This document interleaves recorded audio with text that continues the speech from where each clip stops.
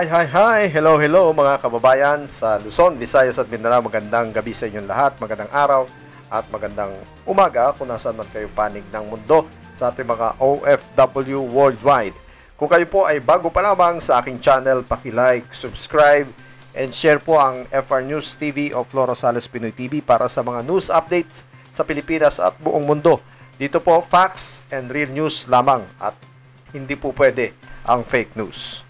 Sa ating balita ngayong araw na ito, sumisigaw ng katarungan ang isang Pinay domestic worker sa Riyadh, Saudi Arabia dahil sa panggagahasa at pagnanakaw pa sa kanya ng dalawang Arabong di niya nakilala.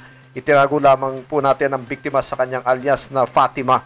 Sa report ni Ma'am Milona Pastolero ng Samaritan Group Volunteers, ang biktimang si Fatima ay nagtatrabaho sa bahay ng kanyang amo sa Eastern Al-Asa sa Riyadh.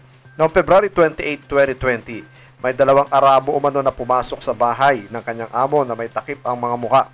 Ginahasa daw po ang biktima ng isa sa lalaki habang isa pa ay nilimas naman ang kanyang mga pera at alahas sa loob ng kwarto. Gayun din ang mga alahas ng kapatid ng kanyang amo.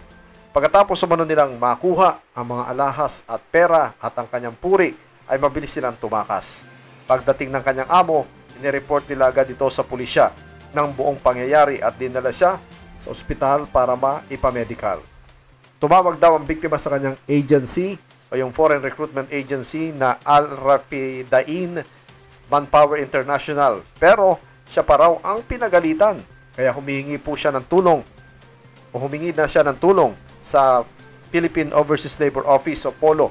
Pero inabot na ngayon ng siyam na buwan yung kanyang reklamo ay wala pa ring aksyon ang nasabing tanggapan. Dahil dito, agad ko pong ipinalam kay Labor Secretary Bebot Bello III ang kaso ni Fatima.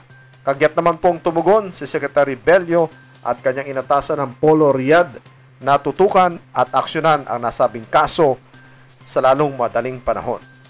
Kaya mga kaibigan, yan ang magandang aksyon kagad no? na nagbigay ng katiyakan si Secretary Bello na kanila pong tututukan yung kaso ni Fatima na biktima po ng rape at ng pagnanakaw pa dyan sa bahay ng kanyang amo sa Riyadh, Saudi Arabia. Para po sa ating mga kababayan at mga kabayaning OFWs worldwide, pakichat lamang po ako sa aking FB Messenger Florante Rosales kung kayo po ay may mga problema o meron kayong hinaing sa inyo pong mga hanap buhay dyan sa abroad. Maging maalam at huwag basta maniwala sa fake news.